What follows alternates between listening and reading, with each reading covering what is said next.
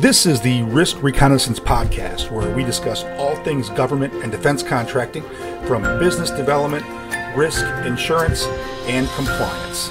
Thank you for joining. Hello, this is Brian Smith with Risk Reconnaissance Podcast. It's going to be a series of shows that we're going to have that specifically focus on issues that are confronted by government and defense contractors, everything from risk to business operations and compliance. And the reason I put this podcast together was to offer a forum in which it was informative and somewhat entertaining, hopefully. If we can do that with government contracting, and also to give you an opportunity to learn something when you're going to and from work on a podcast. Today, I'm joined by a fine gentleman by the name of Joe Greger. And Joe joins us from Washington, D.C. He's here in our studios in Atlanta. And Joe was in town today to do a presentation for the National Defense Industrial Association Georgia chapter, where he went over a variety of issues that are confronted by government defense contractors with regards to DCAA audits. So, with that in mind, I'd like to go ahead and introduce Joe Greger and have him ha- have a moment to talk a little bit about what he does, what his background is, and we'll take it from there. Joe? Hey, Brian. Thanks. Thanks for having me. Uh, pleasure to be here. Uh, so I, I, started with uh, DCAA back in 2003. So it's been about 17 years or so. Uh, I started off as an auditor, uh, performed various complex audits at large defense contractors, and then from there I, I moved on up to, to, to a supervisor position uh, and then a manager position. And then just last April I rotated into this position. my, my formal title is the Small Business Program Manager, and in that role I serve as the audit expert for small businesses. I help small businesses understand the different uh, FAR and DFAR regulations, and I help them navigate that that space, which can be very challenging at times. Um, and part of my role is to go out uh, uh, and do events such as yours uh, with NDIA, also with PTAC, um, and speak to the various different regulations and, and, help small business understand what their role is uh, within within government contracting. And your role in this, you mentioned small business what is your definition or the definition of DCAA with regard to small business? I mean, are we talking about revenues? Are we talking about people? What are we What are we looking at?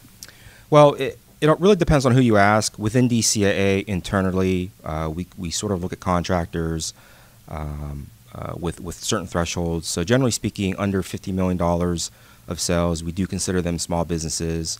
Uh, 50 to 250 is about a medium size to large size, and then if you're over 250 million in sales, you're you're generally considered a large company. Fair enough. That's a pretty good measure for us to know today because we are going to go up to companies that are about 250 million dollars in annual sales, and we're going to break it out. Uh, let's go to 100 million, and then we're going to go beyond that to the 250 mark. Um, Joe, you and I had a chance to have a little bit of banter about today's show before we got started, and keeping it within the time frame because DCAA, correct me if I'm wrong, is pretty complicated. Absolutely, there's a, there's a lot of complex regulations out there. Uh, honestly, there's a lot of it I, I don't understand. Uh, but you know, in, in, the 17 years that I've been doing this, there's a lot I do know, um, and that's that's the reason why I'm here. Is, is I want to sort of impart some of this knowledge to small businesses, and and in particular for small businesses, they don't have the resources to go out and hire.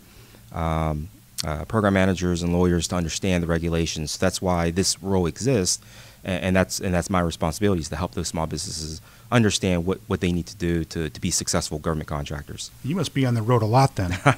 I am actually. This is my second trip out of four.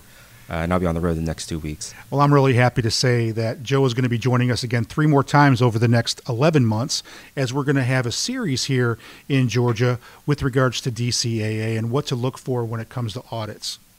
And because of that series, we decided to dedicate today's program to a couple of different topics. And the first one, actually, Joe, we talked about this before, and that's monitoring subcontracts. And when you brought this up, it was really the first thing you wanted to bring up. So why don't you tell the audience a bit about that, monitoring subcontracts and how it's going to apply to them? Yeah, so you know, uh, like I said, over the past year or so, uh, being in this role, I've traveled to a lot of different places, and the one thing I did find, a lot of uh, small businesses and even mid-sized to large companies, they don't understand the responsibilities that they have as a prime contractor uh, when they have uh, smaller subcontractors underneath them. So far, uh, FAR uh, 42202E2 actually states that uh, you're responsible for monitoring your subcontracts. Um, and that goes really, uh, it really reach, reaches the gambit uh, when you talk about accounting systems or even proposals. Uh, one example would be is, is if you're a business and you, and you want to award a uh, cost reimbursable subcontract, you're actually required to determine whether the subcontract has an adequate accounting system. So that responsibility falls on the prime uh, contractor, and if you didn't know that, then you'd be non-compliant with that you know particular FAR criteria. And in the eyes of the government, that's that's obviously um, a, a, negative thing. So that's that's really something that you have to be aware of. I think there's going to be a lot of other things we can dive into with monitoring subcontracts as well. But if you're just joining us, this is Brian Smith with Risk Reconnaissance. It's a podcast dedicated to government defense contractors, all things being risk, business development, and just really good, sound information. And joining me today is Joe Greger from DCAA, and he is the small business liaison. He actually goes out uh, into the field and assists these companies with. Uh, how could I put it, seminar based information sessions. And in fact, we had one here in Atlanta today.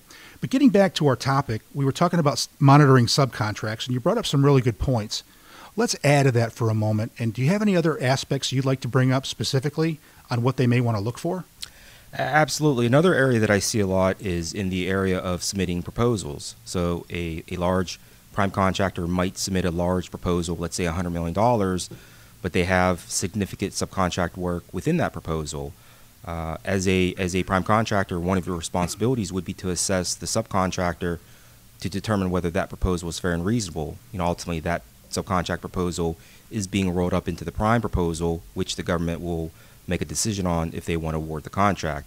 Part of that decision would be is has the prime contractor reviewed that proposal uh, to make a determination of whether it's it's fair and reasonable. So again, I go back to my original point where FAR uh, states you, you're, you're required to monitor your subcontracts, that is another area that's uh, extremely important, and, and all businesses really need to know that.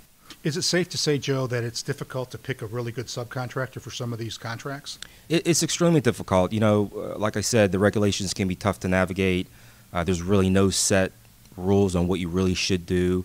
Uh, FAR and DFAR, uh, honestly, is is uh, kind of fuzzy, and, and it's fuzzy uh, for a reason uh, because the government doesn't know all, all, the variables that might happen. So really, again, the responsibility falls on that prime contractor uh, to do their due diligence.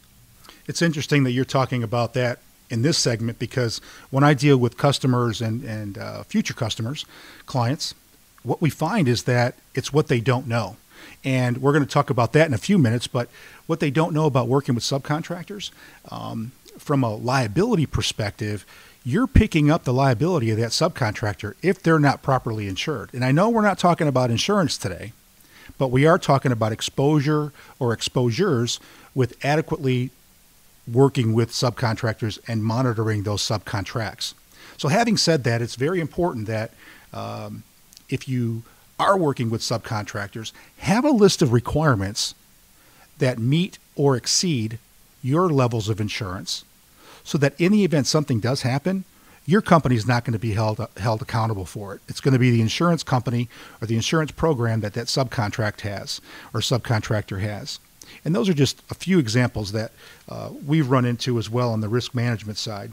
But we were talking uh, as well about the other things about monitoring subcontracts and the importance of that. So, is there another point you'd like to bring up on that, or uh, what what what would you how would you like to round that out? I think the only recommendation I have is just just be familiar with the FAR requirements and understand a lot of the responsibilities um, uh, the government places on you as a prime contractor for determining your determining your subcontracts. And like I said earlier, uh, I, I'm DCAA's focal point in the area of small business. So I'm happy to take calls or emails from, from anybody out there. If you have questions as it relates to uh, FAR and DFARs and its applications, please feel free to, to give me a call or shoot me an email. Why don't you go ahead and give us that contact information, Joe? Again, it's Joe Greger. That's J O E G R E G E R, and with the DCAA. So, Joe, what phone number or email address would be great to get a hold of you? Uh, you know, honestly, the best way is, is to check out our website. We have a ton of resources there, uh, www.dcaa.mil. If you go there and click on the small business uh, resource link, my information is there is there as well as other resources. Uh, but my, my direct email is joseph, J O S E P H, dot Greger, G R E G G R E G E R, at dcaa.mil. Perfect. If you're just joining us, this is Brian Smith with Risk Reconnaissance. It's a podcast dedicated to all things government contracting with regards to risk, business development, and issues that could impact the profitability of your contract. And again, I'm joined by Joe Greger of DCAA, where we're talking about uh, the second part of our discussion today, which happens to be rather important. Um, Joe, we talked prior to the show, and you made mention of uh, a very important point, and I'm not going to dive into it. So, why don't you tell me the biggest issue, in your professional opinion, that is confronted by companies up to, and it even could exceed this, $250 million? Well, you know, one of the largest things that I see is with small businesses and really any, any defense contractor is a lot of times there's just things that they don't know. Uh, I was at an event last week, actually not far from here, and I met a lot of small businesses, and a lot of them, they just didn't have uh, questions to ask because there was a lot of things they, that they just didn't know how to ask. Um, so one of the, one of the things I'd like to talk about is some resources available for small businesses. Uh, obviously, I mentioned our website, uh, www.dcaa.mil. A lot of great resources there. But outside of that, I highly recommend uh, small businesses checking out their local PTAC. Uh, that is PATC, that's the acronym, and it stands for Procurement Technical Assistance Center. Uh, every state has them. In fact, most states have uh, several of them uh, within within the state. So I would just recommend going and finding your local PTAC. But your local PTAC can help you uh, in a lot of ways. They can help you understand and establish your business plan. They can help with financing. But on top of that, they can also help with the various requirements as it relates to FAR and DFARS and navigating that space. You know, another area I think would be uh, very helpful for small businesses is looking into the SBA Mentor Protege program. Uh, it's a program hosted by the SBA. What they do is they match up with a prime contractor, and it's really in that during that relationship that you have with a prime contractor, you can learn quite a bit about government contracting. Um, you know, again, you, you can learn about uh, the financing aspect. You can learn, learn about some of the regulations, um, and, and, again, during that relationship, they can help you out in, in determining your your business plan, where you want to go with your business, and also navigating a lot of the FAR and DFARS uh, criteria and regulation. A lot of times I have the opportunity to talk to companies that are just getting started in government contracting and to see the look in their eyes on what they could potentially do is great. And then they start the process. And it's difficult to say the least, right? It really is. Yeah. And so you mentioned PTAC and then the mentor protege program. I think the mentor protege program is more of a building block because you have to first be in the system uh, with some success under your belt. But PTAC, is it too good to be true, or is it safe to say that it's free? I mean, is there a cost there? Uh, no, it is absolutely free. Uh, the PTACs actually get most of their funding through DLA, which, as you know, is a DoD agency. Uh, and then the rest of their funding is normally uh, funded through a, a, local nonprofit or university. Uh, and in this case, it's the local university here. But but absolutely, PTAC it's a great resource. It's a great organization. I highly recommend you you checking it out.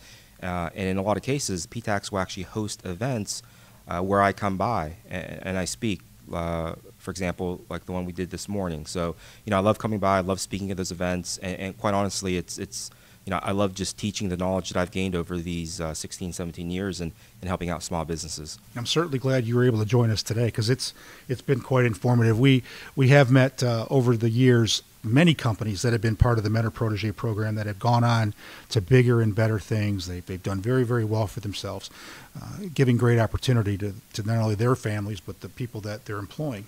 And it's, it's it's not easy, but it's not impossible. And if you don't take advantage of some of this stuff, like Joe was mentioning before, then um, you know it's going to make the it's going to make the hill a little bit steeper as being a government defense contractor. Joe, is there anything you'd like to add as far as an element that you routinely see? Because government, uh, I'm sorry, audits are not fun. Okay, DCAA could probably be uh, for all intents and purposes, scary. um, and with that in mind, one more question: Should they be? No, a- absolutely not. You know, it's uh, one of the things that I talk about too. Is, uh, being in this role, uh, I'm a facilitator, so I, I, take a lot of questions uh, during during audits where a contractor, or a small business, might be going through an audit with our local DCAA office, um, and there are ca- occasions where issues arise, challenges arise, and, and they'll give me a call or, or shoot me an email just just to sort of have a sounding board, somebody to talk to. Um, and, and, I like being in that role as a facilitator. I can help out both the small business and and obviously DCAA as well to hopefully complete their audits. But uh, you know, this is this is an area, this is a space where small businesses and really any contractor, they don't have to be alone in this area. There, there are a lot of organizations such as yours, uh, Brian, you had mentioned, uh, and also with the PTACs, where we're, we're all in this to help small businesses and contractors be successful. Uh, ultimately, ultimately at the, at, at, the end of the day, the goods and services they provide goes towards um, helping and supporting our, our, our warfighter, and that's our, that's DCAA's uh, mission as well. So you know, again, we're all in this together. I'm here to support and help them anyway, um, anywhere I can. And again, our, our website, uh, www.dcaa.mil, or you could email me or call me, and, and I'm happy to help anytime. Joe, that's great information, and I really appreciate you taking the time today to talk to us about the ins and outs of DCAA, at least from two perspectives, and I think it was quite informative. And you also mentioned one other thing, and I'm going to close with this: that you are looking to support the warfighter. And I think sometimes in government contracting, when you're dealing with um, uh, commercial entities, they don't understand what you're trying to do. And we support those that support the warfighter. And the association that Joe was bringing up earlier was the National Defense Industrial Association, Georgia chapter, of which I'm the president of that chapter and had the distinct pleasure of having a, the opportunity to talk to these guests and learn a lot on a one-to-one basis. And that's really what the intent is here today, is to share that with you so that you don't have to be at the table. You could actually be wherever you are right now listening to this and gaining some valuable information. If you're interested in contacting Risk Reconnaissance, you can go to theriskrecon.com. That's the Risk Recon, R E C O N, dot com. And you can always reach me direct if you're interested in having a conversation on a one to one basis at 770 250 0227. Today I was joined by Joe Greger of, the, the, of DCAA, Small Business Liaison, trainer extraordinaire. And uh, again, I thank him so much for spending some time with us this afternoon. And I look forward to uh, seeing you again in the near term. Closing out, this is Brian Smith with the Risk Reconnaissance podcast from Atlanta.